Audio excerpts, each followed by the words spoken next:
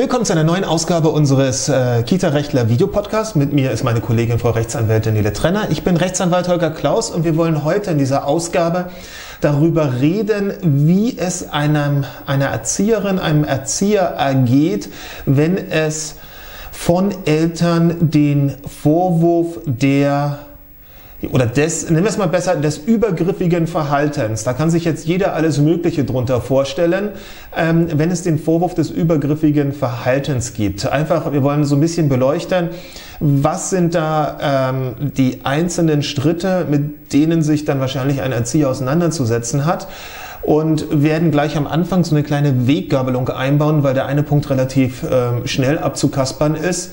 Wenn an den Vorwürfen was dran ist, dann. Gibt es das Kinderschutzverfahren? Ja, okay, das gibt es ja in beiden Fällen erstmal. Ja. Aber wenn ähm, an dem Vorwurf was dran sein sollte, und das kann ja jeder Erzieher, jede Erzieherin äh, mit dem entsprechenden Vorwurf äh, dann für sich selber feststellen, dann gilt eigentlich nur auf zum Strafrechtler und sich beraten lassen, genau. weil ähm, das sind dann meistens ja schon etwas, äh, nehmen wir mal jetzt, äh, ja doch schon etwas erhebliche Vorwürfe.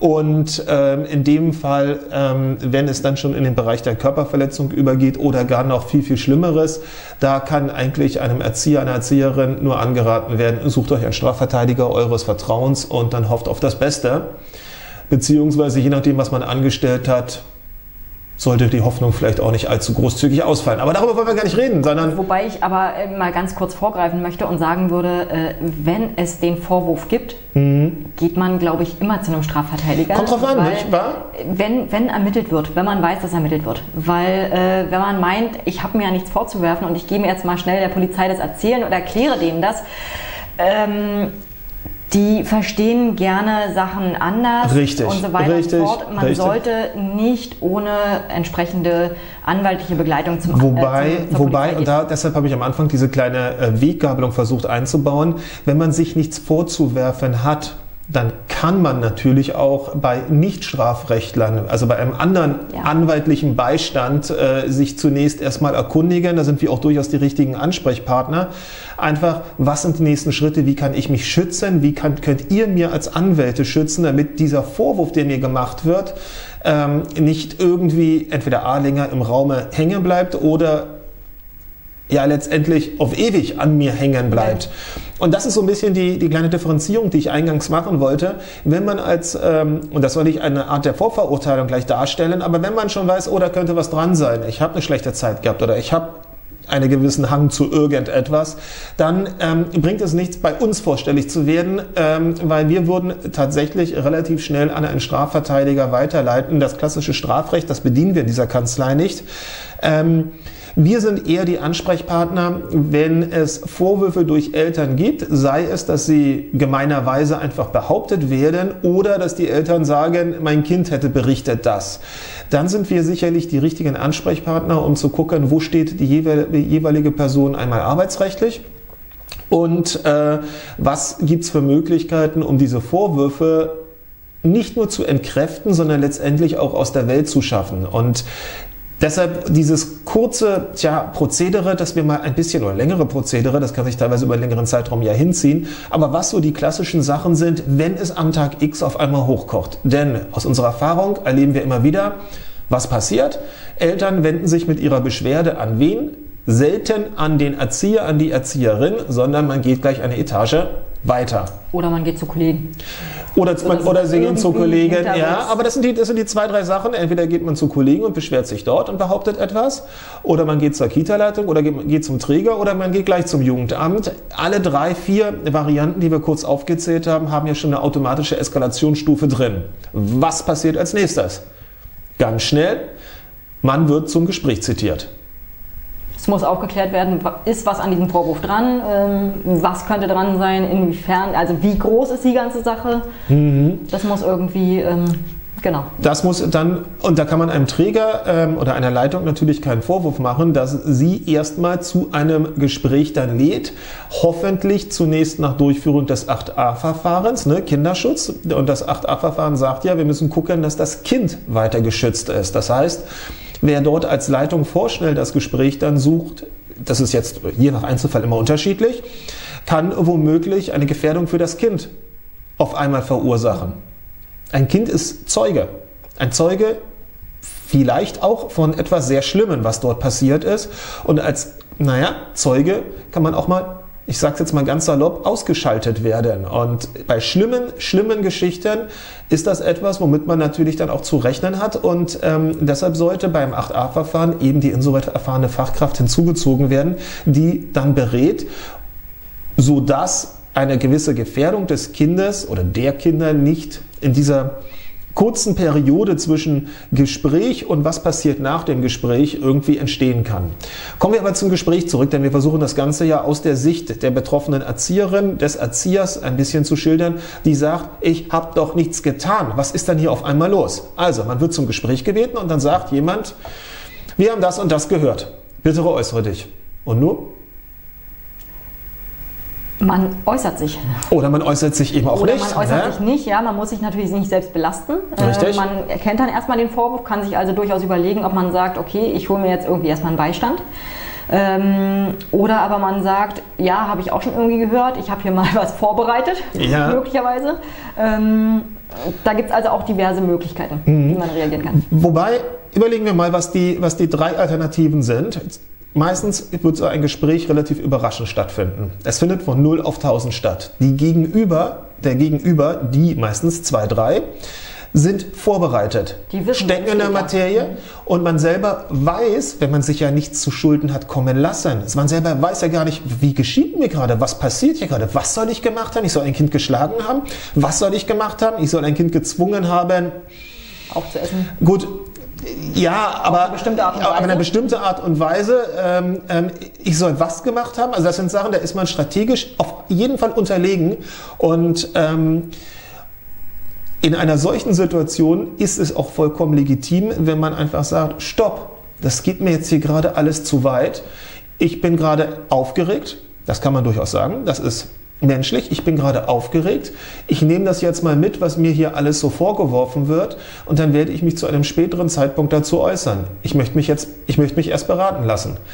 An, einer, an ein solches Vorgehen können wir nur anraten, wenn man tatsächlich das Gefühl hat, sich sonst Warum auch immer, um Kopf und Kragen zu reden oder irgendwas zugestehen. Also es gibt manchmal Situationen, Menschen wollen gefallen. Menschen, das ist unser, unsere ureigenste Sache, dass wir jemand anderen, deshalb sind wir soziale Wesen, gefallen wollen.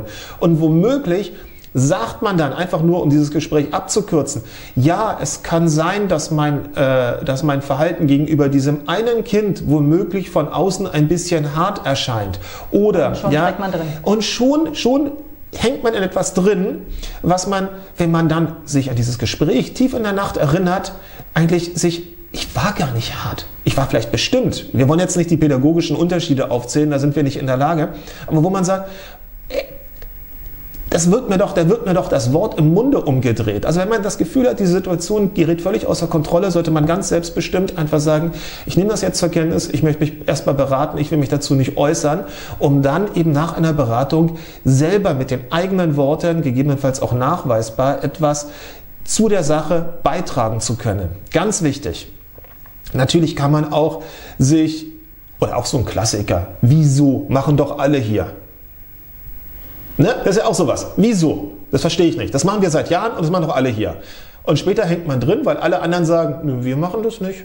Niemals. Das ist natürlich gelogen, ja. Aber ähm, auch ein sehr menschlicher Zug. Bei einem solchen Vorfall sind alle 1, 2, 3 ganz schnell weg und man steht womöglich alleine da. Das heißt, das sind Aussagen, mit denen man sich arbeitsrechtlich riesig, riesig Ärger einhandeln kann, obwohl, wenn man sich den Kern anguckt, am Ende da gar nicht so groß was drin ist. Also, wir haben entweder gar nichts sagen und sagen, ich bin aufgeregt, ich möchte mich nicht dazu äußern, ich mache das zu einem späteren Zeitpunkt. Was soll der Träger denn machen?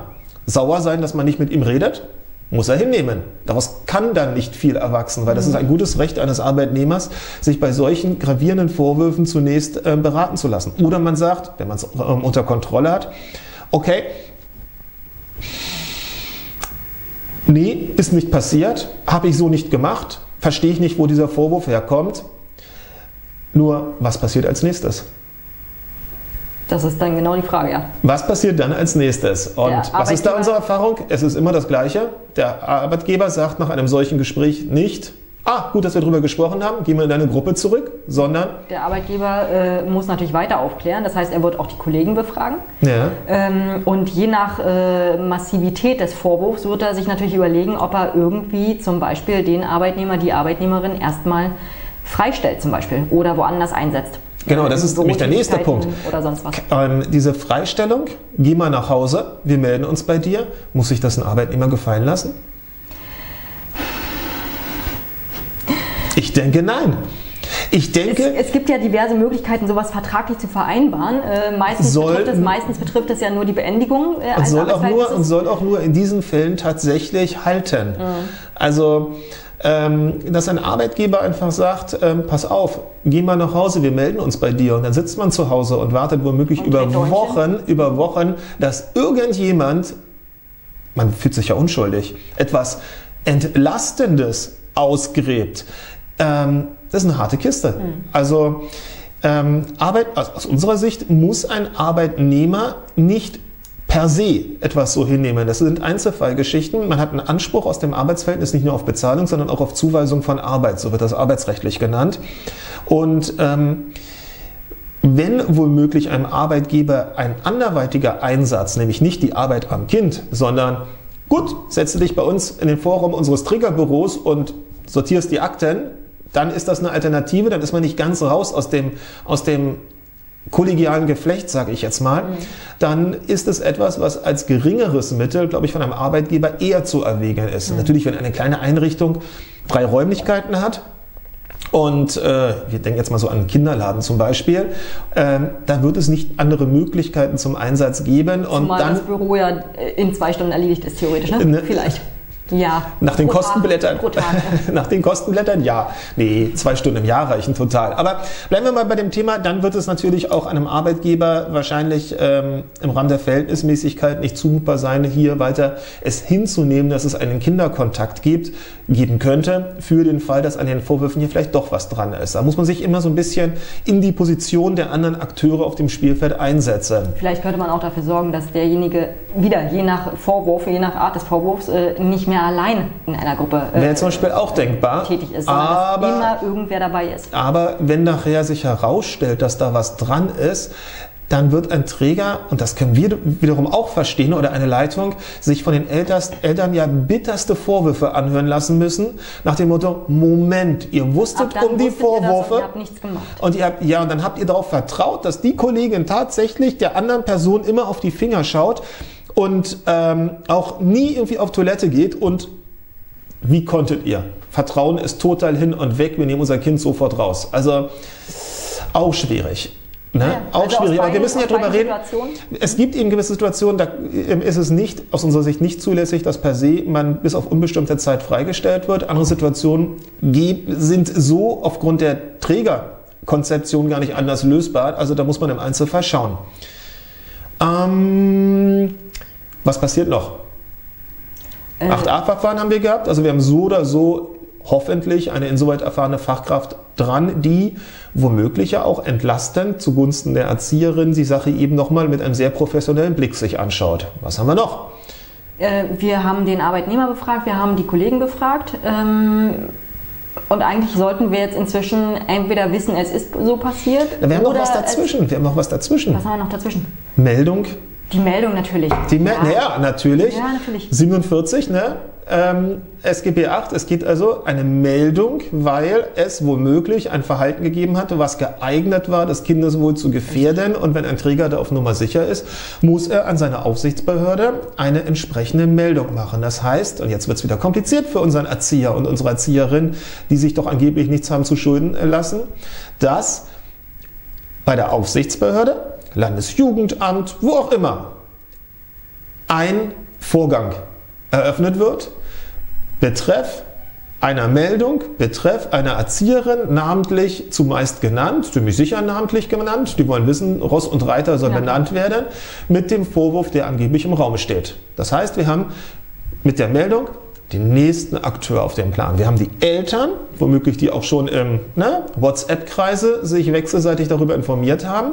Wir haben die Aufsichtsbehörde, wir haben die insoweit erfahrene Fachkraft, wir haben die Leitung, wir haben den Trägerverantwortlichen und in der Mitte vom Ganzen ist unsere Erzieherin, unser Erzieher. Die sitzt jetzt zu Hause oder der sitzt jetzt zu Hause und nach zwei Tagen geht so ein kleiner Kronleuchter auf, dass irgendwas hier nicht stimmt. Dass man sich fürchterlich schlecht behandelt fühlt. Warum glaubt mir keiner? Was ist da los? Warum sitze ich jetzt eigentlich zu Hause? Warum gehen diese Eltern durch die Tür vorne rein?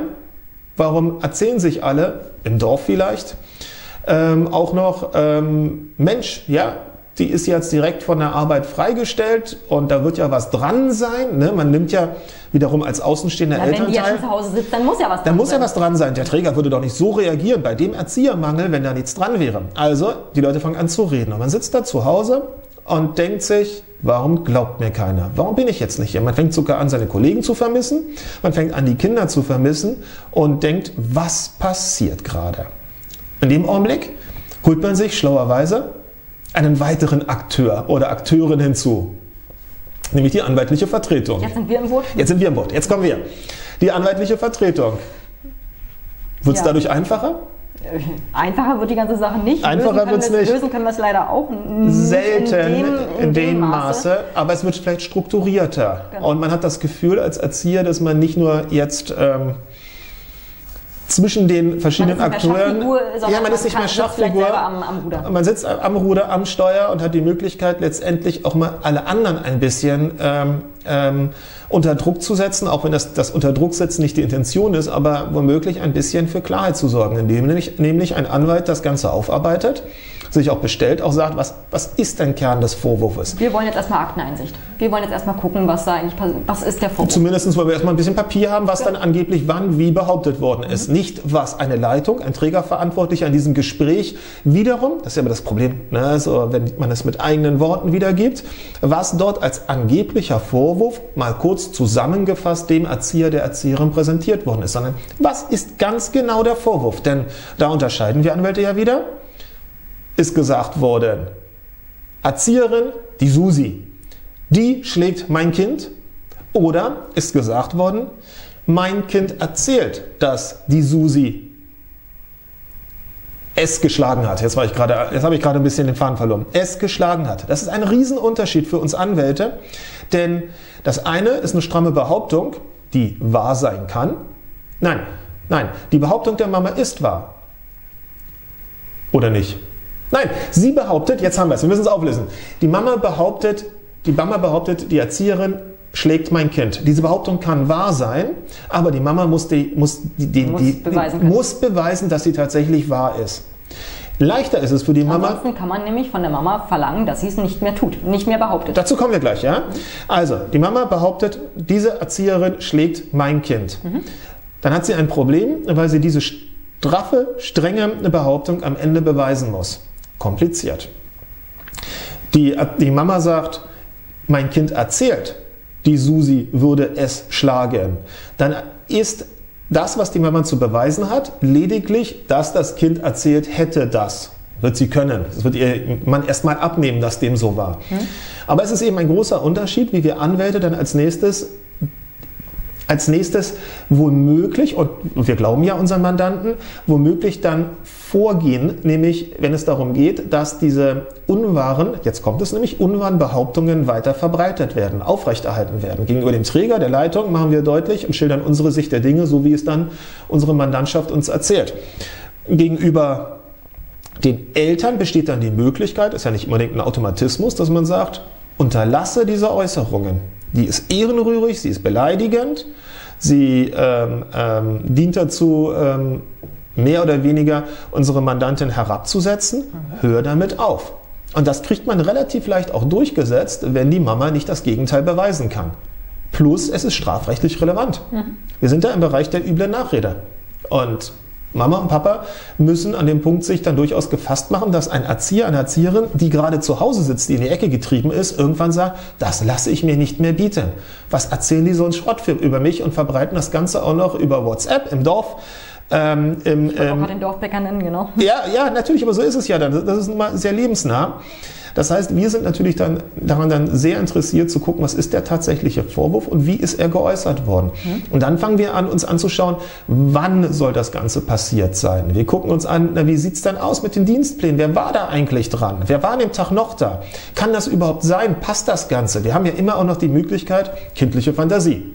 Das heißt, Mama und Papa haben nicht keine böse Absicht, sondern geben tatsächlich wieder, mein Kind erzählt, dass es geschlagen worden sei.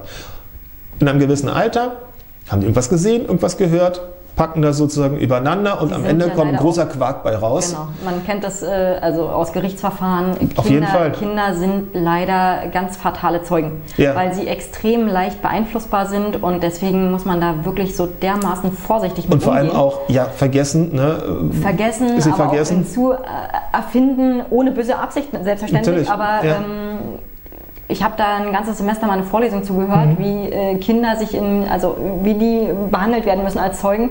Und das ist wirklich wirklich schwierig. Und wenn dann irgendwie sich äh, irgendwer denkt äh, von den anderen Erziehern, na jetzt nehme ich mir das Kind mal beiseite und fragt da mal, da könnten also ähm, lustige Sachen bei rauskommen. Genau. Also Stichwort Suggestivfrage. Ne? Wenn das Kind schon auf den ersten, auf die erste Bemerkung Kind am Abendbrottisch dann vom Papa und Mama gegrillt worden ist, dann ergibt es irgendwelche WhatsApp-Ketten, dann wird nochmal nachgefragt. Kinder, jetzt sind wir wieder, wollen gefallen. Ne? Ähm, dann kommt am Ende eine ganze Menge Quark wohlmöglich bei raus und das kann sehr fatal sein. Also ähm,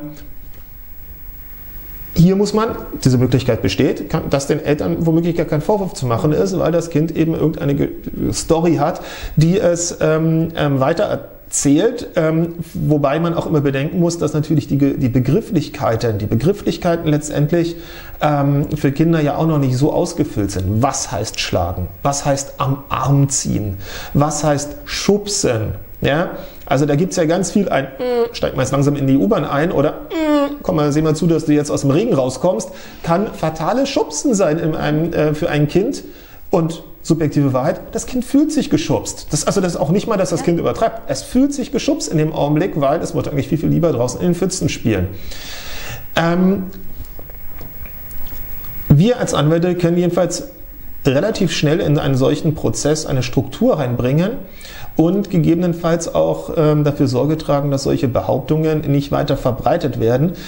Was wir nicht so ganz hinbekommen, wir kriegen auch die entsprechende Gegendarstellung in die Personalakte, wenn da was bleiben sollte. Wir kriegen äh, es ganz gut hin, dass arbeitsrechtliche Maßnahmen äh, dann scheitern, weil der Arbeitgeber hat ja nichts. Der Verdacht, ja, Verdachtskündigung, Verdachtsabmahnung, das sind doch sehr, sehr schwierige rechtliche Instrumente. Die muss man, muss man als Arbeitgeber schon sehr gut beherrschen, um das äh, wirksam umzusetzen. Ähm, was schaffen wir allerdings nicht? Muss man ganz ehrlich zugestehen. Ähm, naja, wir schaffen es nicht, äh, den Vorwurf ungeschehen zu machen. Richtig. Also es wird irgendwie wenigstens eine Zeit lang dieser Vorwurf weiter rumschwelen. Ähm, und das heißt, derjenige, der Erzieher, die Erzieherin wird sich erstmal weiter äh, beobachtet fühlen. Auf jeden ähm, Fall. Auf jeden das Fall. Das können wir nicht das, wir können also es bleibt, und das ist das Schlimme daran, das ist letztendlich, ähm, selbst wenn Mama und Papa keine böse Absicht haben, das Ergebnis ist wie beim Rufmord. Ich sage nicht, dass Mama und Papa diesen Rufmord begangen haben, aber es ist wie, es bleibt was hängen. Mhm. Und ähm, auch wieder die sozialen Netzwerke vergessen nicht, die lokale Zeitung vergisst nicht, das sind Archive. Das heißt, wenn darüber irgendwo in der Zeitung berichtet wird, dass sich dort irgendwelche Vorwürfe ergeben haben, es bleibt hängen. Und das Problem ist, wenn zu einem späteren Zeitpunkt ein vergleichbarer Vorwurf, ach, muss gar nicht mal so sehr vergleichbar ähm, sein, ja, ähm, nochmal an einen Erzieher, eine Erzieherin herangebrandet wird, dann wird die alte Kamelle wieder hochgekocht nach dem Motto, naja, da war, war ja schon mal was. Mhm. Da war ja schon mal was. Also das ist so ein bisschen das Ergebnis, wo wir ganz ehrlich sagen, das geht nur so gut wie hundertprozentige, tja, hundertprozentige, der hundertprozentige Freispruch, den kriegt man selten hin, ganz selten hin. Ähm, auch das geht, aber es ist eine ganz schwierige Kiste und naja, unser Ziel ist einfach in diesem Podcast darüber zu beleuchten, was eigentlich im Einzelnen passiert und was Erzieher beachten sollten und im Zweifelsfall immer kühlen Kopf bewahren und sich Hilfe holen. In dem Sinne, Tschüss. ciao.